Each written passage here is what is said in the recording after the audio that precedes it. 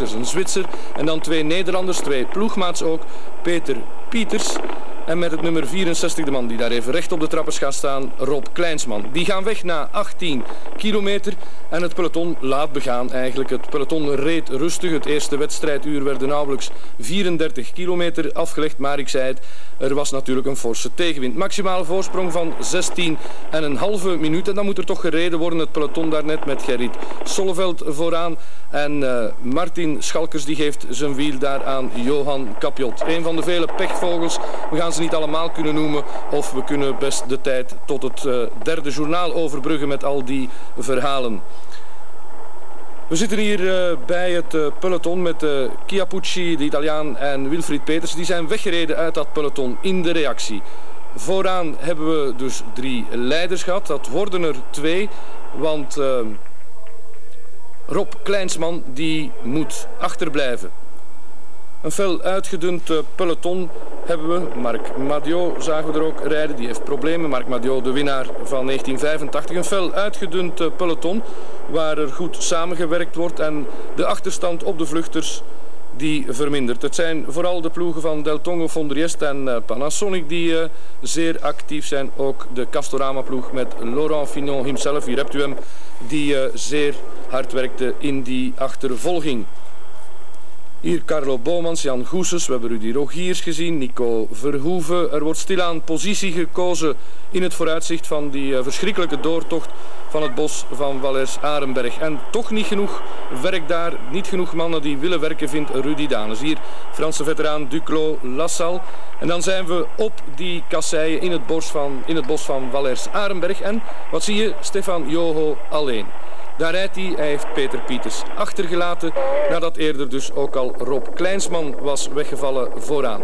Nico Verhoeven gaat uh, in de tegenaanval met onder meer Eddy Plankaart. We krijgen, dat was te verwachten, een afscheiding in het uh, peloton.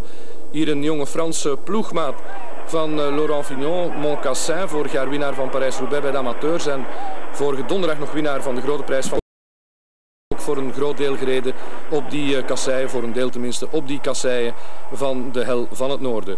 Joho en uh, Peter Pieters die is weer komen aansluiten voorbij dat bos van Wallers Arenberg. En dan, hij kan het nooit verbergen als hij goed rijdt, Eddy Plankaart.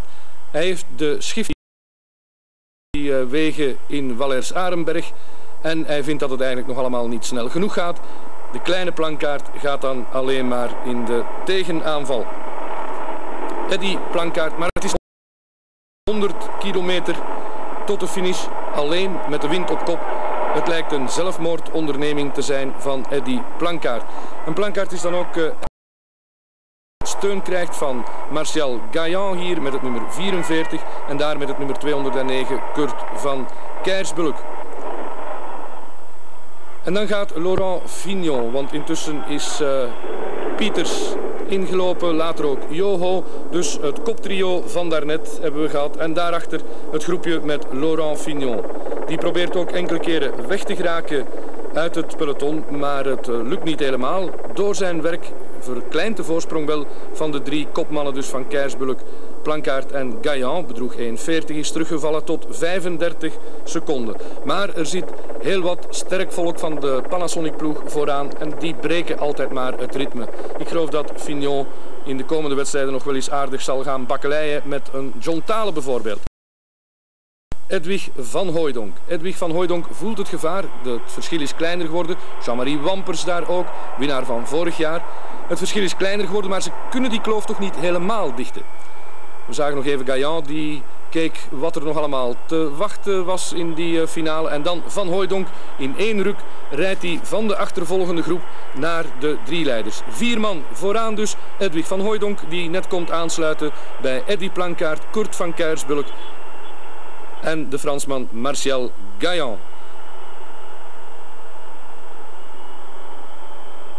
En dan komt er nog iemand bij, dat hebben we net gezien, dat was John van den Akker, die dat erg knap deed, de jonge Nederlander.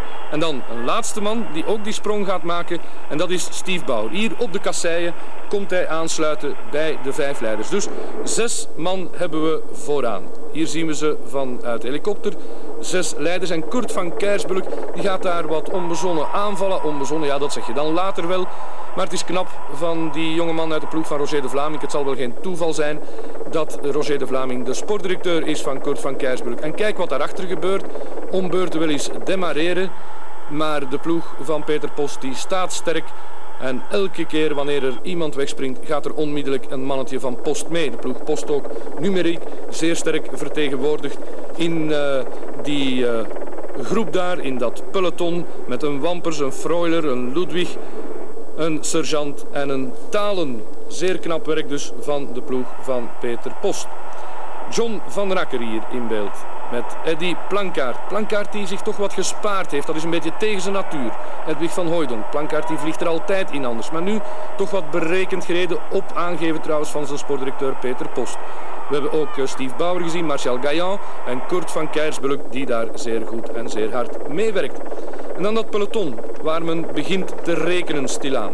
Vooraan niet. Op de kasseien, aanval van Steve Bauer. Maar kijk eens hoe makkelijk die Plankaart dan meeschuift. En Edwig van Hooydonk die heeft het daar iets moeilijker mee, maar hij komt nog terug. De andere drie die zijn we kwijt. Dus Van Keirsbulk, Van den Akker en Gaillan die zijn moeten achterblijven. Drie leiders dus hebben we daar. En daarachter dit drietal dus met Van den Akker erbij. Met uh, Gaillan en Van Keirsbulk. En daar het peloton met onder meer Johan Museeuw. Met Adrie van der Poel, Carlo Bomans. Met uh, de Zwitser Wegmuller met Talen daar, met hier de Fransman Duclos Lassalle.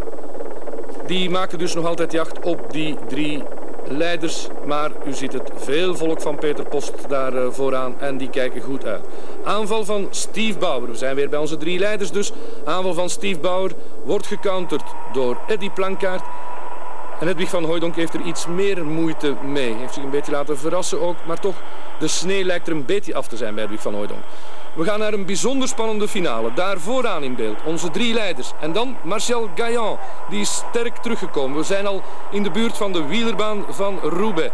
Onze drie mannen nog met een late poging van uh, Steve Bauer. Plankaart aan het wiel, Van Hooydonk in derde positie.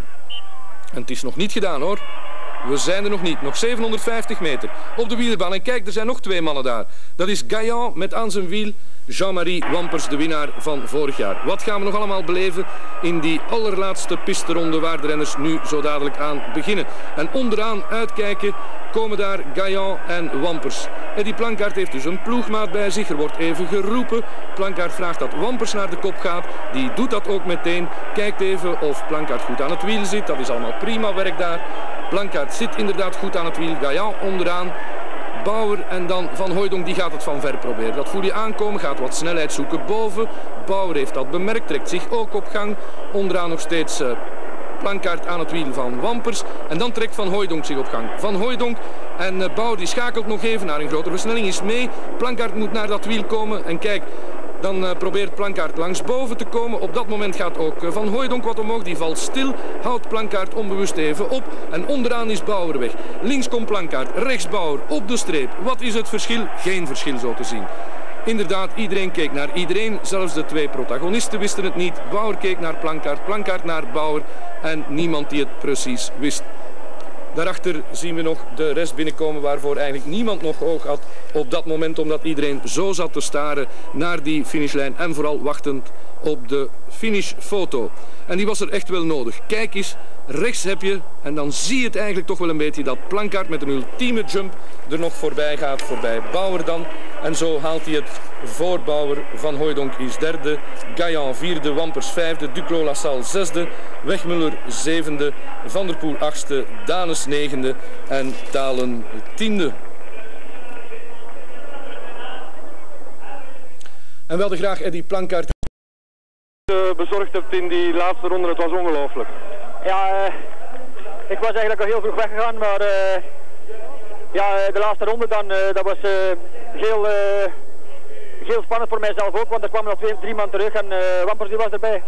En ik heb onmiddellijk naar Jean-Marie geroepen om dus tempo, iets, iets of wat tempo te rijden. Maar Van Hooydonk en Bauer die, die kwamen dus rechtsboven. En Bauer die was dat helemaal onderaan en ik moest nog Van Hooydonk passeren en die ging eigenlijk toch uh, wel uh, van, van zijn lijn af moet ik zeggen. Maar ja, ik ben dus niet gehinderd, maar ik moest dus helemaal bovenaan via Van Hooydonk. En uit de bocht moest ik nog, uh, ik denk, uh, twee fietslengten goed maken op Bauer. En ik, ik voelde het, uh, ik wist, ik zag eigenlijk, er was geen spandoek, ik zag de finish liggen. Dus ik heb gespurt eigenlijk de laatste 10 meter met mijn ogen dicht en waar ik, ik heb gegymd, ik heb alles gegeven en ik wist niet zeker als ik gewonnen was en het was heel net. Ja, ik zag voorbij de streep, jij keek naar Bauer, Bauer keek naar, jij, naar jou. Eigenlijk wist geen van beiden denk ik wie gewonnen had. Ja, maar ik denk dat Bauer, ik voelde dat hij geklopt was, want die, uh, die trok toch maar een heel raar gezicht naar mij. Maar uh, ja, dat was niet alles. we moesten natuurlijk de fotofinish afwachten en toen ik aan de andere kant van eh, de velodroom zat, en, was ik nog niet zeker dat ik gewonnen was. En toen kwamen uh, jullie mensen van de tv met het blijde nieuws dat ik uh, gewonnen was met een paar met kleine centimeter of zo. En dan, ja, dan uh, was het eigenlijk iets te veel voor mij. 100 kilometer van het einde ben jij in de aanval gegaan eigenlijk. En de meeste mensen hier, uh, oud-renners ook bij ons, die zijn, jongens wat doet hij nu? Dat is, dat is een zelfmoordpoging, wind op de kop. Ja, een zelfmoordpoging, maar blijven zitten zoals in de Ronde van Vlaanderen, zoals in Gent-Wevelgem zoals om het even waren, uh, dat brengt ook niet zo. Ik heb dat dus geleerd en uh, ik had dan nog een tegenslag in de Ronde van Vlaanderen dat ik nog voor de vallen kom naar de Molenberg, maar zo koers het niet meer. En ik heb dat vroeger dus al meer bewezen dat ik altijd wil in de aanval gaan op de bergjes en zo. Dus maar er komt nooit reactie en de, de koersen zijn eigenlijk helemaal veranderd, de manier van koersen. De, de, de, toprenners die rijden eigenlijk nooit meer door. En uh, dan heb ik gezegd vandaag wel uh, tegenwind of geen wind. Ik maak me niks uit, ik ga gewoon uh, attackeren en zien wat het brengt. En dat was natuurlijk heel ver naar 100 kilometer. En dan heb ik uh, eigenlijk uh, wat, tempo gereden. En uh, ik had dan een maximum minuten al voorsprong. En Post kwam bij mij. En die zei, zou Peter wat temporiseren en nog iets afwachten. Gelukkig heb ik dat gedaan, want het finale was nog heel zwaar. Ik zou het alleen niet geklaard hebben. En ja, zoals je ziet, aanvallen is altijd de beste verdediging. En hier is de man die vorig jaar won, Jean-Marie Wampers. Ja, Jean-Marie, jij bent dan nog met die onverwachte sprint komen aantrekken voor uh, Eddie Plankaart. Ja, ik moet zeggen dat ik vandaag uh, enorm goed was, maar enorm veel uh, onkans heb gehad. En ja, op het einde ben ik dan nog kunnen wegraken eigenlijk in die achtervolgende groep. En zijn we op de piste nog bij het groepje gekomen met Eddie en ja, stond maar één, ta één taak te doen. Dat was de spurt aan te trekken of tempo tenminste hoog te houden tot de eindspurt zelf kon ik misschien niet meer spurten omdat ik te veel kracht had verspeeld om altijd te moeten terugkomen naar die onkans. Nu, Eddie, wat jij misschien niet gezien heeft, jij bent, ik zou bijna zeggen, de man die het afgemaakt heeft, maar de ploeg heeft bijzonder sterk gereden. In die achtervolgende groep was het, ik denk dat Vignon Talen een van de komende dagen niet zonder handen gaat nemen, want Talen die, die ging die elke keer weer halen. Ja, dat was natuurlijk de taak van de jongens. ik was dus weggegaan en er waren nog vier of, of nog, meer, nog meerdere renners, dus misschien nog teruggekomen in de, in de achtervolgende groep. Ja, het is dan moeilijk uh, voor ons, het is dan niet mogelijk eigenlijk voor, voor ons renners om de finale of, of de koers te maken als ik, als ik voorop ben. En uh, daar heb ik, heb ik ook wel een klein beetje voor gespeculeerd dat ze in de achtervolging dus iedere keer gecounterd gingen worden van ons mannen. En uh, ja, dat is dus blijkbaar goed gelukt en ik ben de jongens daar heel, heel dankbaar voor. Oké, okay, bedankt en succes nog. Uh, two centimeters after 265 kilometers, it's uh, it's tough to be to be second, but uh, I'm still happy. I did uh, an excellent race. I don't think I made any mistakes. It's uh, Eddie was better. Het beste was eraf met de laatste kilometers. Ik heb dat gat moeten rijden op, uh, op Langert en, ja, toen was er het beste af eigenlijk. Ja, ik mag wel tevreden zijn dat je ziet, vorige week in, uh, in de Ronde van Vlaanderen, dat kon ik, uh, dat kon ik nog niet volgen. En vandaag werk ik al derde, dus dat is eigenlijk toch wel een klein, een klein mirakel. En dan de sprint zelf, jij probeerde je gezellig te verrassen. Ja, ik wist dat ik van ver moest beginnen om een kans te maken tegen Plankert. Maar ja, als ik echt uh, nog super binnen in de finale, dan, uh, dan kan ik die mannen wel kloppen. Maar Plankert was vandaag uh, veruit de beste. En de beste heeft gewonnen en, en dan heb ik daar absoluut geen moeite mee. Het leek even nog zeer spannend te gaan worden ook. Het werd spannend op de streep zelfs. Maar door het feit dat jij even naar boven ging, zat Plankaart ook mee naar boven. Ja, ik, ik wilde een beetje snelheid maken nog. Ik wilde van naar boven komen en dan met snelheid naar beneden gaan. Maar ik, ik viel zo stil, ik, uh, ik weet niet waar. En... Nee, het is uh, mijn eerste Parijs-Roubaix. Met al mijn tegenslagen dat ik al gehad heb uh, dit jaar, dat had ik niet gedacht. Roger de Vlaming is je ploegleider. Heeft er dat wat mee te maken? Ja, hij heeft me vrij gemotiveerd vanmorgen. Hij zegt dat ik geen goede benen ging hebben. Omdat ik in Wasmeer de vijfde heb gereden en mocht maar 150 kilometer rijden. Het maakte me nog kwader. En jij dacht, uh, ik zet dat hier eens even recht? Ja, ik dacht, uh, in het begin van de koers voelde ik me al redelijk goed. Ik had lichte benen en al. Ik zeg, uh, vooraan rijden, het is het enige dat ik kunt doen in zo'n koers. Dan zien die alles, zie je alle putten liggen en al. Ik heb de hele koers vooraan gereden. Ik was iedere keer terug mee. Dan zijn jullie met zessen weg en dan komt er een breuk. Dat was net iets te veel voor jou of hoe is dat gebeurd? Eh, ik mocht die twee maal daar niet weggedemareerd hebben, denk ik. En dat heeft mijn doodslag geweest. Ik heb nog op 10 meter teruggekomen en uh, het was iets te veel.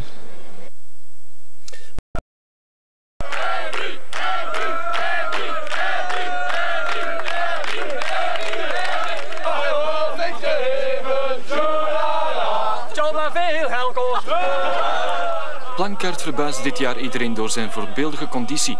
Bij het begin van het seizoen ruilde hij het zwalpend ADR-schip voor zijn vroegere werkgever Panasonic. Tijdens de wintermaanden volgde hij in Zwitserland een celtherapie op basis van ongeboren lammetjes. Ja, wat heb ik gedaan? Eh, dat is een speciale kuur, een cellenkuur dus. En ik kan het uh, aan iedereen aanraden dus, dat meen ik dus echt. Uh, ik voel me er eigenlijk heel, heel goed mee. Ik sta er zelf een beetje verstomd van met de problemen die hij gehad heeft. met een oude ploeg dan. dat hij toch een beetje in de put gezeten heeft. En uh, we hebben hem gelukkig, gelukkig goed kunnen opvangen in onze ploeg. En hij is terug in een ploeg gekomen waar hij renners uh, gevonden heeft dat hij vroeger mee gereden heeft. En die renners zelf waren er blij mee en dat heeft hij gemerkt. En die heeft er alles aan gedaan om toch in een behoorlijke conditie aan de start te komen van die grote wedstrijden. En dat is hem goed gelukt. Eddie Plankaart gaf altijd al de indruk grote koersen te kunnen winnen. Toch was het pas op zijn dertigste raak met de Ronde van Vlaanderen. Vindt hij zijn loopbaan tot nog toe geslaagd. Ik had liever wat grote koersen meer gewonnen. Maar uh, Ronde van Vlaanderen, Parijs-Roubaix, Milan Sanremo, dat zijn eigenlijk de grote wedstrijden die mij goed liggen. Dus uh, als Milan Sanremo er eventueel nog kan bijkomen, dan is uh, mijn carrière toch geslaagd voor mij.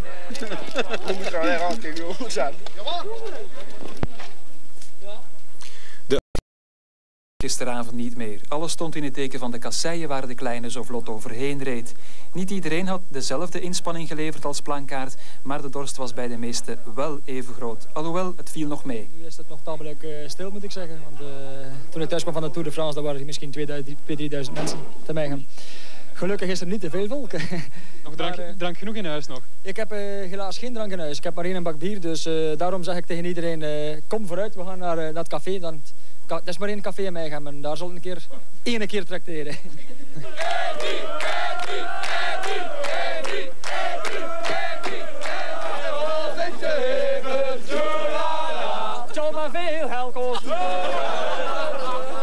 Ik zeg het nogmaals, voor een grote klassieker te winnen moet je heel veel geluk hebben. En mijn geluk is geweest vandaag dat uh, Van Kersbulk en Gajan blijven doorrijden zijn met mij. Dat is mijn overwinning geweest.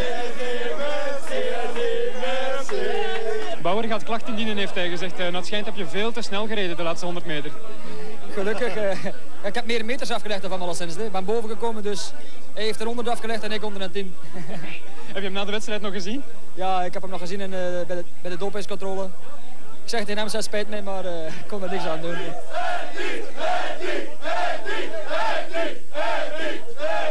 En ga je nu voor een nieuwe verrassing zorgen door volgende week Luik Bastenaak Luik te winnen? ik denk dat je mij ver zult moeten zoeken in ook leuk, want ik zal waarschijnlijk niet tegen hem denk ik. Ja, maar met zo'n conditie? Ja, maar eh, uh, er zijn geen echte kasseien in ook leuk, dus...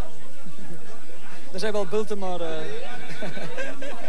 Hey, die is kampioen?